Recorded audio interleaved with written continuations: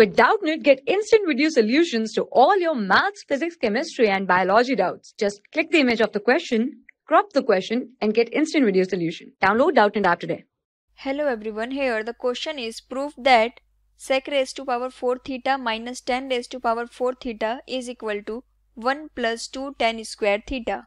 Now let's come to the solution.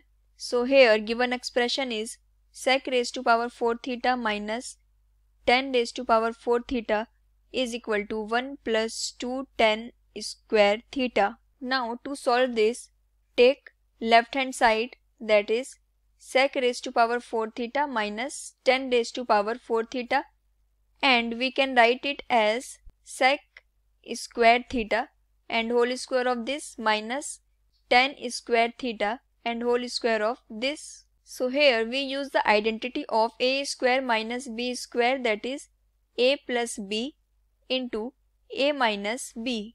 So here our a is sec square theta and our b is tan square theta.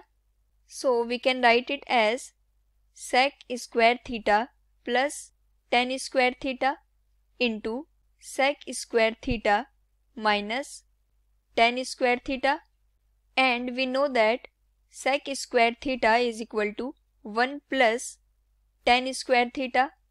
So we can write this expression as 1 plus tan square theta. Here in place of sec square theta we use this identity and plus tan square theta as it is into here in place of sec square theta we can write 1 plus tan square theta minus tan square theta. Now see here tan square theta tan square theta cancel and we can write it as 1 plus 2 tan square theta into 1 and we can write it as 1 plus 2 tan square theta. So this is nothing but the our right hand side that is 1 plus 2 tan square theta. So here this is equal to right hand side. So left hand side is equal to right hand side hence proved. Thank you. For class 6 to 12, IIT JEE and NEET level. Trusted by more than 5 crore students. Download Doubtnut app today.